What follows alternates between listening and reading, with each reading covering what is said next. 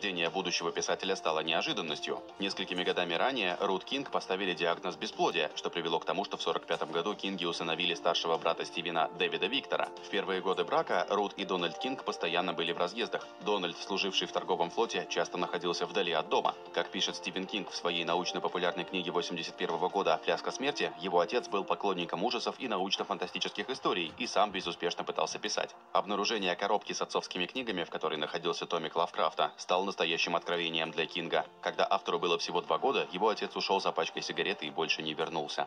Из-за слабого здоровья юный Стивен Кинг оставался дома большую часть первого года начальной школы. Из-за кори и неоднократных приступов стрептококковой инфекции, которые привели к болезненным ушным инфекциям, он проводил большую часть времени либо в постели, либо в кабинете врача. Лечение, которое включало многократные прокалывания барабанной перепонки, навсегда осталось в памяти писателя. Он писал, это была самая сильная боль, которую я когда-либо испытывал. Единственное, что могло сравниться с ней, это первый месяц восстановления после того, как летом 99 -го года меня сбил фургон. Когда писателя спросили, было ли в его детстве событие, которое каким-то образом исказило его восприятие и заставило писать истории в жанре ужасов, Стивен Кинг отметил, что он не может вспомнить ни одного конкретного случая. Однако он рассказал одну ужасающую историю, которая произошла, когда ему было 4 года. В Danse Macabre Кинг писал, «По словам мамы, я пошел играть к соседям, чей дом находился недалеко от железнодорожных путей. Я вернулся примерно через час и был бледным, как привидение. Я не произнес ни слова до конца дня. Оказалось, что ребенок, с которым я играл, был сбит товарным поездом, когда играл на рельсах и перебегал их. Моя мама не знала, был ли я рядом, когда это случилось. И пускай Стивен Кинг получил частичную стипендию в университете Дрю в Нью-Джерси, его скудные финансы не позволили ему остаться в родном штате после окончания школы. Вместо этого он последовал за своим старшим братом Дэвидом в университет штата Мэн. В колледже в разгар войны во Вьетнаме Кинг принимал активное участие в протестах в кампусе и вел колонку в университетской газете под названием «Мусоровоз Кинга». На первом курсе он впервые продал свое творчество журналу «Потрясающие загадочные истории». Рассказ под названием «Стеклянный пол» принес небогатому студенту неожиданный доход в размере 35 долларов. Чтобы заработать еще денег, помимо еженедельных 5 долларов, которые присылала ему мать, Кинг устроился работать в библиотеку. Там он и встретил женщину, которая впоследствии стала его женой, историка и начинающего поэта по имени Табита Спрус. В 2000 году Табита рассказала биографии, он был в буквальном смысле самым бедным студентом колледжа, которого я встречала в своей жизни. Он носил обрезанные калоши, потому что не мог позволить себе нормальную обувь. В 70-м году у пары родился ребенок, дочь Наоми. После выпускного Кинг и Спрус поженились и переехали в трейлер в Хермане, штат Мэн. В то время как Кинг безуспешно искал место учителя, он устроился на несколько низкооплачиваемых работ, чтобы сводить концы с концами. Начинающий писатель работал на заправке и в промышленной прачечной. Часто будучи подавленным, Кинг чувствовал, что все, что он делает со своим образованием, так это копировал жизнь своей матери.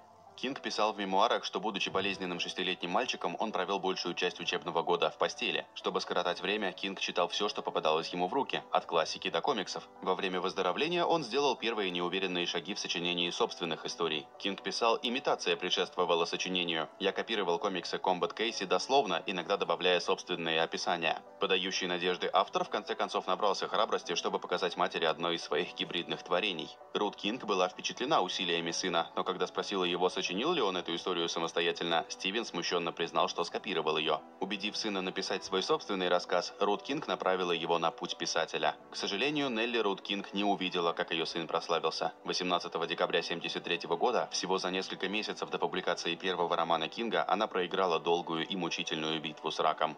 Жизнь Стивена Кинга навсегда изменилась в 1974 году с публикацией романа «Кэрри». Роман о Кэрри, девушке-подростке, подвергающейся астракизму и кроваво отомстившей всем своим школьным хулиганам с помощью недавно обнаруженных психокинетических способностей, формировался в уме Кинга по частям на протяжении нескольких лет, прежде чем он наконец сел за написание этой истории. Кинг подробно рассказывает в своих мемуарах, что после того, как он с энтузиазмом напечатал первые три страницы, разочарованный будущий писатель почувствовал, что просто не может разобраться в повествовании. Не ощущая искренности происходящего с точки зрения персонажей Кэрри, которые были в основном женского пола, Кинг сдался и выбросил рукописи в мусорное ведро.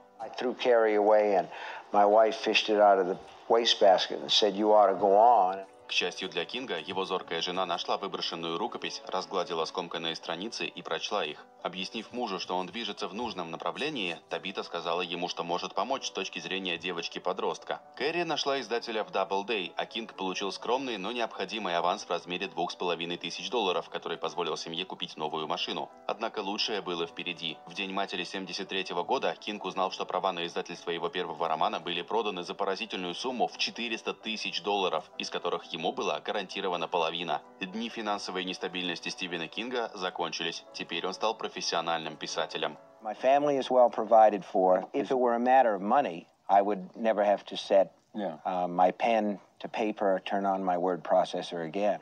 К середине 80-х годов Стивен Кинг был широко известным писателем, миллионером и бесспорным мастером жанра ужасов. И пускай многие из его работ были адаптированы для экрана, лишь немногие фильмы получили одобрение самого автора. Книги Стивена Кинга были однозначным успехом, но фильмы, основанные на его романах, неизменно оставались сомнительными. Кинг, который всю жизнь был поклонником кино, наконец-то получил возможность поучаствовать в создании киноленты в 1986 году, благодаря итальянскому киномагнату Дино де Лаурентису. Согласно SlashFilm, Кинг и де Лаурентис поладили во время производства фильма «Кошачий глаз», антологии из трех историй. Де Лаурентис дал Кингу редкую возможность адаптировать свое произведение для сценария и признал его талант визуального рассказчика. Когда Кинг проявил интерес к режиссуре, Де Лаурентис дал шанс автору бестселлеров. К сожалению, режиссерский дебют Кинга оказался провальным. Максимальное ускорение, основанное на рассказе Кинга «Грузовики» о разумных машинах, захватывающих Землю, стал провалом как с точки зрения отзывов критиков, так и с точки зрения кассовых сборов, и в конечном итоге был разочаровывающим опытом для автора, который во время съемок сильно страдал от кокаиновой зависимости и алкоголизма. Кинг сказал Тони Мэджестрале, автору книги «Стивен Кинг в Голливуде», «Проблема с этим фильмом в том, что я находился под воздействием наркотиков на протяжении всего производства и действительно не знал, что делаю». Тем временем, максимальное ускорение с тех пор завоевало репутацию культовой классики.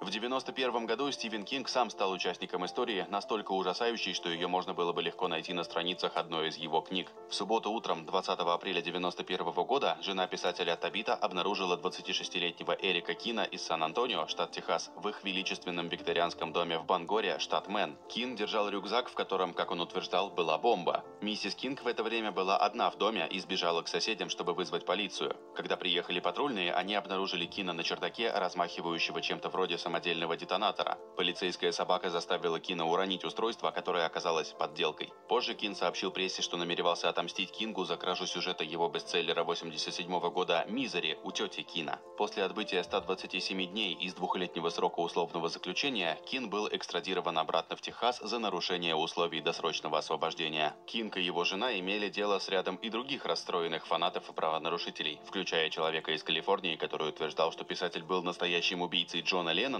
и гражданина Чехии, который был арестован за преследование после того, как оставлял записки с угрозами в почтовом ящике Кинга.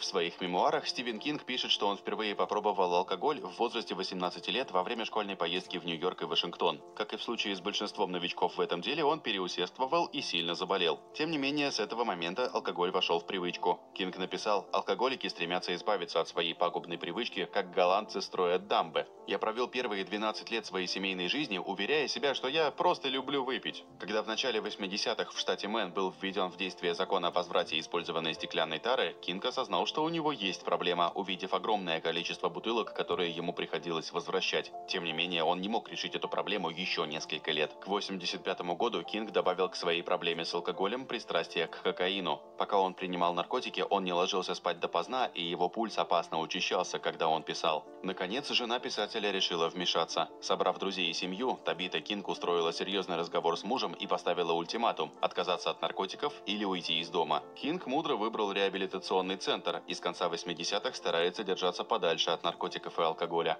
В субботу 19 июня 1999 года Стивен Кинг совершал ежедневную прогулку по уединенной проселочной дороге недалеко от своего дома в Норт-Ловеле, штат Мэн. Когда Кинг шел против движения по шоссе номер 5, его сбил голубой минивэн, которым управлял 43-летний бывший строитель Брайан Смит. По данным Guardian, Смит отвлекся от дороги в попытке угомонить одну из своих собак, которая рылась в его охладителе для пива. Перелетев через фургон, Кинг ударился головой о лобовое стекло и приземлился в канаве на расстоянии 4 метров от места удара. Смит предположил, что сбил оленя, пока не заметил окровавленные очки Кинга на переднем сидении. Кинг получил сотрясение мозга, сломанное бедро, таз, ребра и бедренную кость и прокол легкого. Если бы он быстро не перевернулся влево, когда фургон сбил его, он вполне мог погибнуть при ударе.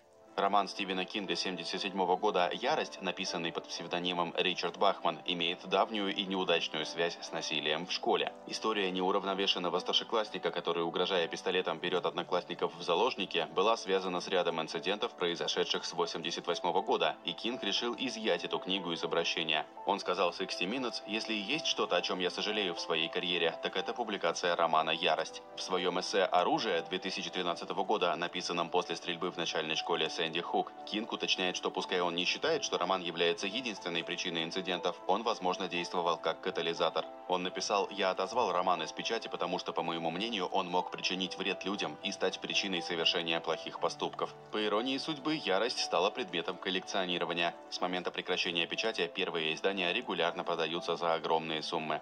Обладая сильной близорукостью с детства, Стивен Кинг большую часть своей жизни носил то, что он называл «стеклами от бутылок из-под колы». Однако в интервью 98 года передачи телеканала CBS 60 Minutes Кинг раскрыл гораздо более серьезную угрозу для своего зрения, чем миопия – макулодистрофия. Связанное со старением заболевание является основной причиной потери зрения и затрагивает более 10 миллионов американцев. Прогрессирующее состояние вызывает потерю зрения в центре глаза, при этом периферическое зрение в значительной степени не затрагивается. Кинг пошутил по этому поводу, сказав, «Это та часть, которую я хотел бы сохранить как мужчина и как писатель. То, что я вижу по сторонам». Писатель сообщил на своем официальном сайте, что пускай у него есть генетическая предрасположенность к этому заболеванию, у него пока нет явных симптомов.